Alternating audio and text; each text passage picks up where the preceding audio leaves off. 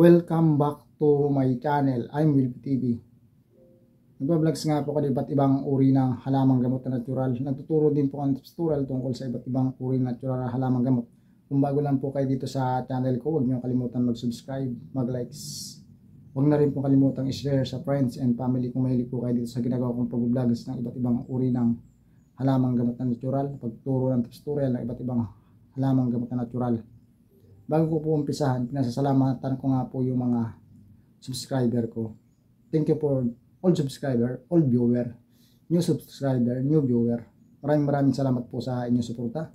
Sana po ipatuloy niyo suportahan yung channel ko para lalo po po mag-grow at marami pa po natin matulungan na mahirap nating kababayan na mga sa mga libreng gamutan sa paligid ng bahay nila. Meron po sila natutunan na una kukuha ng mga iba't ibang natural na halamang gamot na libre. Ang tips tutorial ko po ngayon, bakit nga ba tayo walang gana sa pagkain? Iba't iba po yung dahilan bakit wala tayong gana sa pagkain, bata matanda. Step by step, tuturo ko po sa inyo. Tips number one, kaya wala tayo gana sa pagkain, ito ay isa pang lasa. Tayo po ay may mga panglasa po tayo. Kahit alin po sa atin, ang panlasa natin hanggang apat, mayroong tao na gusto ay medyo maalat, mataas yung pangasin niya, Meron tao na gusto ay medyo maalat-alat na medyo matabang-tabang. Meron tao na gusto na matabang. Meron namang gusto ng tao na maalat, matabang, medyo maasim. Yan. Yan po mga panlasa. Kaya nga po, walang gana yung mga tao na sa pagkain dahil sa mga panlasa. Example, yung kusinira nila o yung katulong nila, araw-araw siya nagluluto. Siyempre, kabisado man yung lasa ng pagkain na niluluto ng katulong niyo sa bahay kung isa ka pong amo o etc. Kung kumakain ka sa restaurant na yun yung talagang nakasanayan mo na yung taong yun yung kusinero doon sa restaurant talagang pasok na pasok sa taste mo yung panglasa talaga na angkop para sa iyo. Pero kinabukasan kumain ka ulit doon, iba na yung lasa. Kasi iba na yung kusinero. Siyempre magbabago yung panglasa mo, walang ka ng gana sa pagkain. Yan yung tips number one. Tips number 2, bakit walang gana yung tao sa pagkain? Example, lipasan ka ng gutom. Example na tuwing tanghali kumakain ka ng alas 12, tapos kinabukasan kumain ka ng alauna, alas 2, alas 3. Siyempre yung gana mo sa pagkain, nakasanayan na ng bitukan mo na tuwing alas 12 kumakain ka ng tanghalian. Ngayon, alas 3 ka na kumain, alauna or alas 4. Siyempre, nalipasan ka na ng gutom ang mangyayari niyan, mawawalan ka na ng gana sa pagkain. Correct po ba? Naranasan ninyo yan? Sinasabi ko. Comment po sa baba kung totoo po yung sinasabi ko. Yan po yung tips number 2. Tips number 3, wala kang gana sa pagkain kung ikaw ay may bulati, bata o matanda. Alam niyo bakit? Kapag may bulati ka, pag ikaw ay kumain ng maalat or matamis, maasim, pwede kang masuka or pwede kang mawala ng gana masuk ka nga, nasakit ang tiyan kung may bulati ka sa tiyan. Kailangan kung may bulati ka sa tiyan, purgahin mo yan o pumunta ka sa ospital.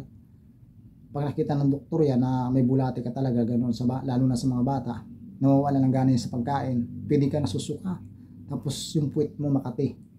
Parang mayroon doon na, ano yung gumagalaw-galaw sa butas ng puwit. Ang ibig sabihin may bulati ka nun, lalo na sa mga bata, 1 years old hanggang 3 years old yan yung unang-unang inakapitan ng bulati. Yung matanda, pwede rin kapitan ng bulati. Lalo na kung hindi ka maingat sa paghawak ng pagkain mo, kumakain ka lang hindi ka naghugas ng kamay, kumapit ka ng basura, kumapit ka sa mga handle ng gripo, mga posit ng gripo o handle ng mga sasakyan, handle ng mga door, doorknob o handle na sa bahay, train, aeroplano, etc.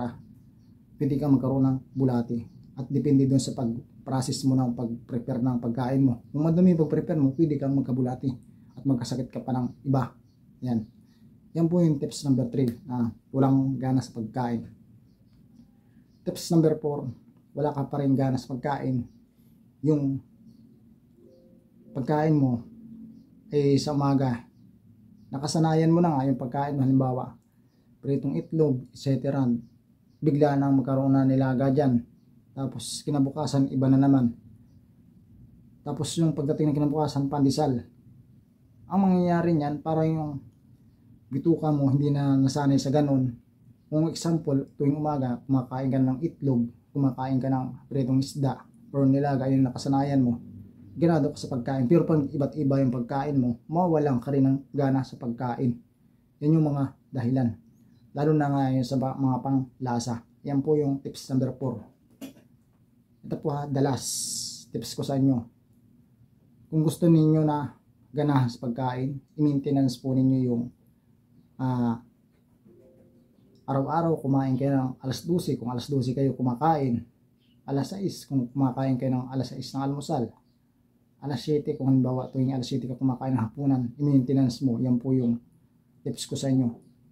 Para ganahin ka po po lalo uminom ka ng vitamins yung pampagana ng pagkain. Siyempre gaganahan ka ng pagkain kapag ikaw ay may vitamins na pampagana ganun din yung pag-inom ng tubig kapag naka vitamins ka ang kailangan lang kumonsulta ka sa doktor, magpa-check up ka. Tanongin mo, dok, ano po yung magandang pam- pampagana sa pagkain? Yung sa inom o sa pagkain, meron po niyan dati.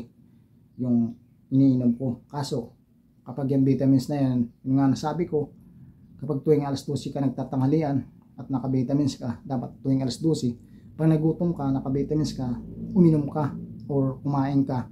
Kumain ka ng kumain hanggang sa tumaba ka. Yung, yung talagang effective na vitamins.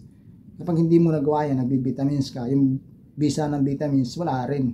Kapag hindi mo sinunod na. Kapag nagugutom ka, kumain ka, nauuhaw ka, uminom ka.